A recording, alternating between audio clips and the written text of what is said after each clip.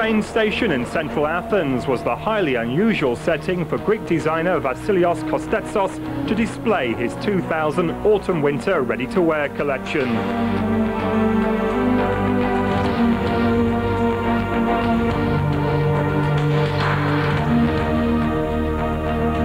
Models were shunted in before parading Kostetsos' designs along the platform. Dominant colours were silver, black and red on quilted and padded leather and velvet jackets.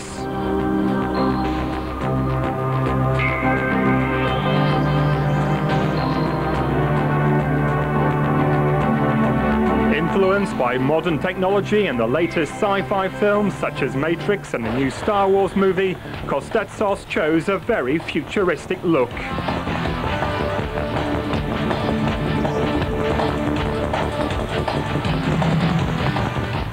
Animal skins also took central stage with a leopard and leather dress with matching bag.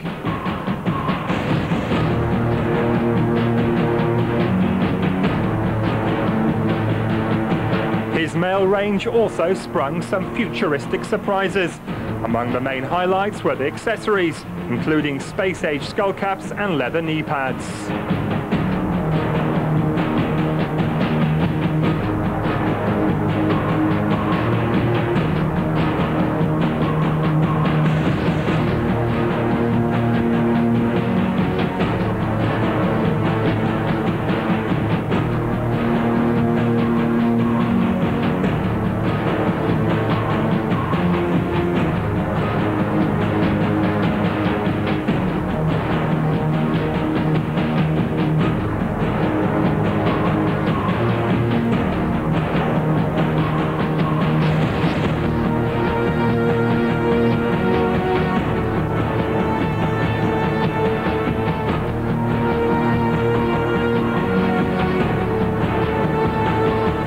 Kostetsos explains why he set his show in a station. This transfer from uh, the millennium to the new millennium is uh, the change, and this change is with a fast train. You can uh, you can pass the, the, for the 2000 very fast. So we have uh, the the contradiction between the old uh, train to the new very fast train, to the new millennium, because everything is very, the technology is it's going very, very quickly.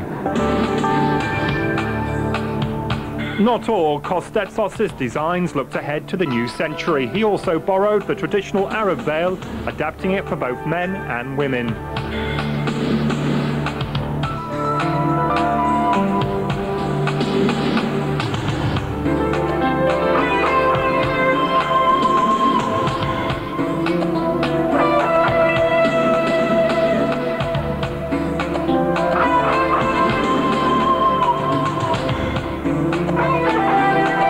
He believes that fashion isn't running out of steam and will continue to reinvent itself.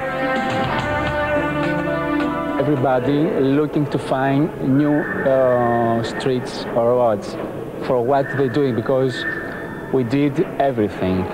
But I believe that if you want to find something new, you can find something new. And uh, the things that are going to change, already starting to change, because they said that the fashion is dead. The fashion is not dead. The fashion will continue.